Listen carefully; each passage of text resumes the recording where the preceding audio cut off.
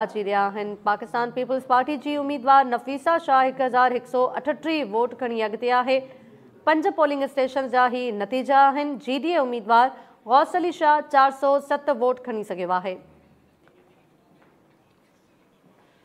पंज polling station जा इहे नतीजा गैर हतमी गैर सरकारी नतीजा जेके अचनि पिया सां शेयर कयूं पिया, पाकिस्तान पीपल्स पार्टी जी उम्मीदवार नफ़ीसा शाह हिकु हज़ार हिकु सौ अठटीह वोट खणी अॻिते आहे। ऐं